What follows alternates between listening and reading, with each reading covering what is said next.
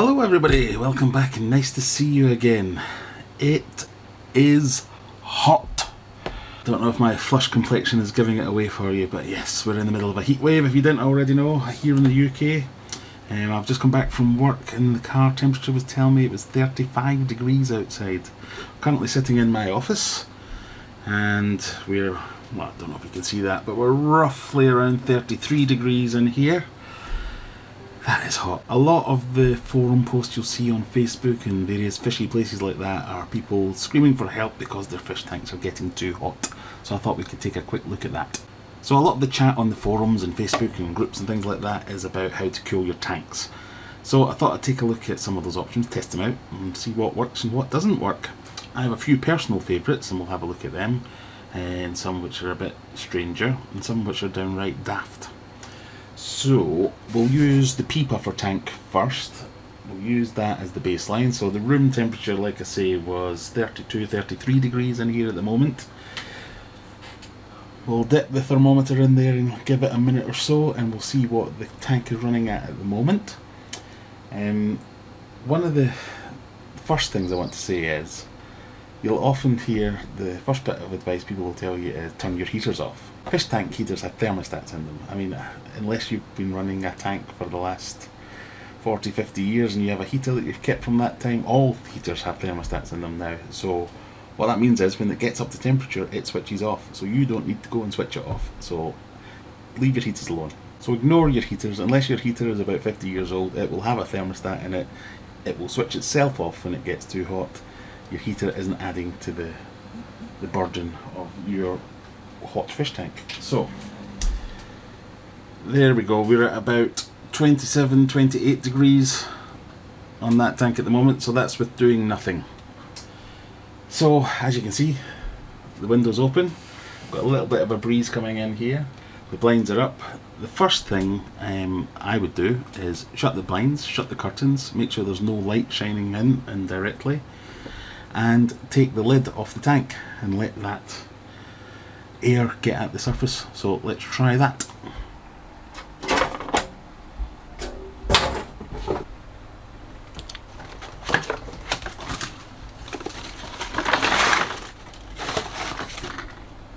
Okay, that's been about half an hour or so. Still hot, still feels hot in here. If I look at the ambient temperature in the room, it's dropped to about 30 degrees, if you can see that. Not sure if you can.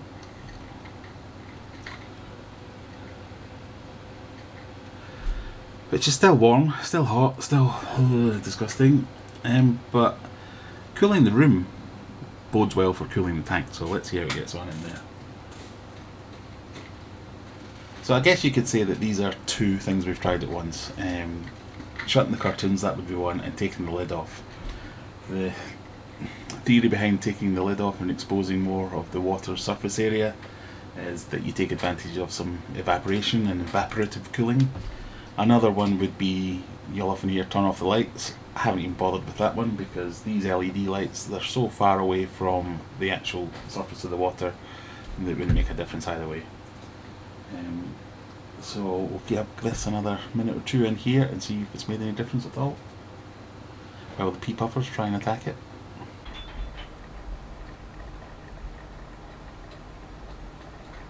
So that's dropped it to yeah, it's kind of 26 and a half, 27. Maybe if I'd left it for another hour or so, that might have had a bigger effect.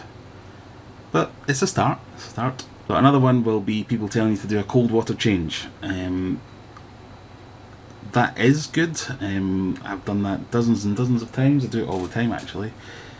I don't think that's actually a valid technique because what that'll do is it'll drop the temperature by a few degrees for about 10 minutes and then it'll come straight back up to where it was. One step up from that is to kind of accelerate the evaporation and the evaporative properties and use a fan. So that is a fan, that thing right there. You could use a clip-on desktop fan or a pedestal fan or any kind of fan. Computer fans are pretty good at this as well, but the idea is you get some airflow over the surface of the water which speeds up the evaporation, which intensifies the cooling. So I've just kind of jerry-rigged this up here on a little platform but it's a fan that will angle the air down there and blow it across and hopefully speed up the cooling. So let's give that a go. It's just a shame that the fan I've picked is extremely noisy. Right, let's turn that off. So I actually quite like this one because you don't really have to do anything. As long as your fan's got power, you can keep that going for a while and it will continue to work. Um, unlike the swapping out the cold water changes stuff, which is just a temporary fix. So let's see how that one does and then we'll move on to the final one. Still hot, still hot in here.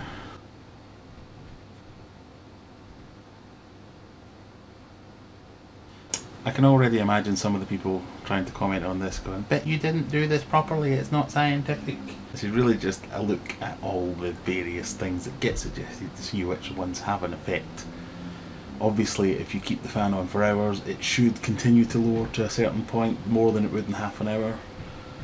Um, this is just a quick look. So there, I think we've dropped I think we've dropped a degree there, if not half a degree to a degree in about 25 minutes. So that's pretty good. So let's get rid of this and we'll try the next one. So this one requires a bit of preparation and it's a bit labour intensive but you get some water, fill up some bottles, stick them in the freezer. Ideally get a bunch of them and then you can rotate them. But the whole premise here is you just plop these in the tank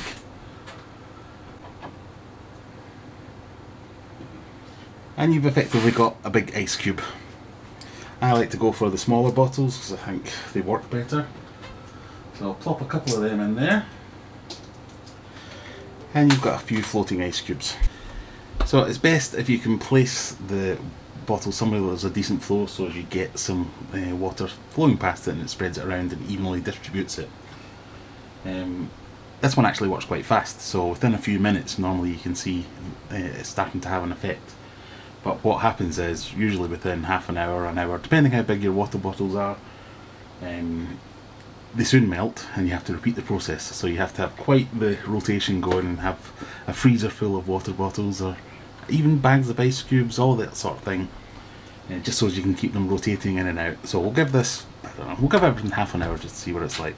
A little bit over half an hour for these ones, but no longer ice, just water. Let's see how that's done.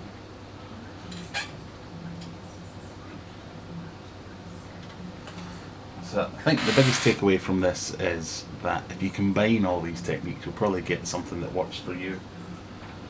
Um, like I said before, you need to have loads of bottles of water if you wanted to do this, but my, my theory is that this will actually have brought it down a couple of degrees so what I tend to do is if I've been away at work or something and it's been a really hot day and I come home and the tanks are running a little bit hot, I'll bob in a couple of these ice bottles and then put the fan on top. They're kind of my two favourite things and that usually gets it down a couple of degrees quite quickly and then keeps it at a safe level. These pea puffers are determined to eat this thermometer. So I think we got down to 26 and a half ish, 27 with the, the fan running. I can already see that's yeah so we're down to 25 now which is kinda fine. That's where we want it to be. Now apart from shutting the curtains or the blinds none of that affects the room and that's the real problem. If the room's hot the tank's going to get hot. So one more thing to try which isn't necessarily a fish tank cooling thing but it will make a will make a little bit of a difference. So as fish keepers we generally have access to this sort of thing. This is a poly box that fish come in or you collect in or post in or whatever it might be. And what I've done to this one is I have cut two holes in the top. So I have a square hole here and a circular hole there. And most fish keepers have access to PVC pipe so I've taken a length of pipe with an elbow on it, cut a hole in the the top. And that goes down to just half an inch, an inch off the bottom. And then this square here, put that there for a second. You remember the fan from earlier on?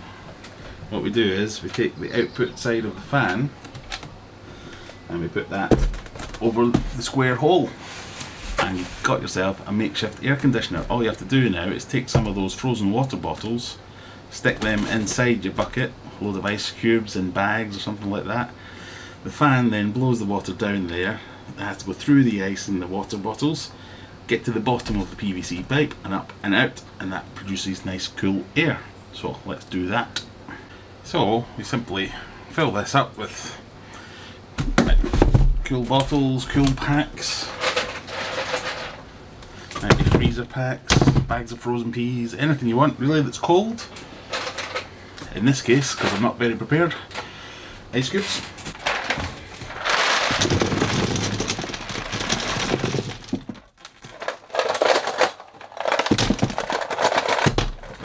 And what you want to do is just make sure that the pipe is going below the ice. So the air that you're going to force in through here has to go through the ice to come back up and come out of here.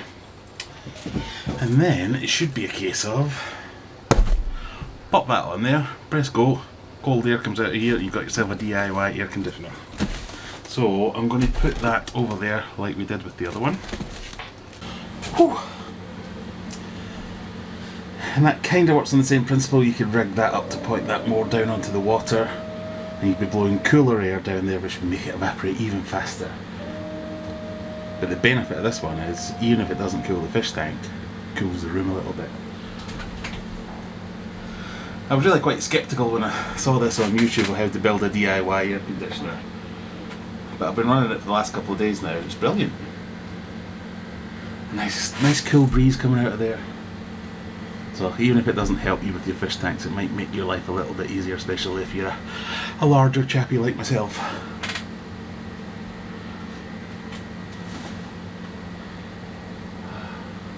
If I had hair, it would be flowing in the cool breeze right now.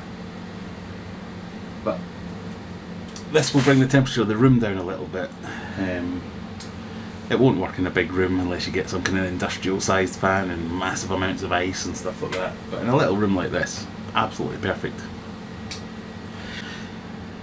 They're not the most scientific of experiments or tests, but I thought I'd just run through all the things that people tend to suggest. So let me know if they've been any use to you or if you've got any more that you think I should try out myself. And like I say, I think my favourites are to get the ice bottles in there early, bring it down that couple of degrees and then just get a fan blowing on the top. That tends to keep things under control.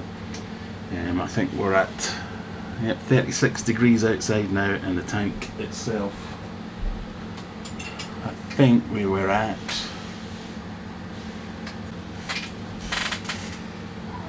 uh, the tank we've got down to 24 degrees now. Which is pretty good. So, like I say, if you haven't clicked that subscribe button, it really helps me out. And I'll see you next time. Let me know what you think in the comments. Bye!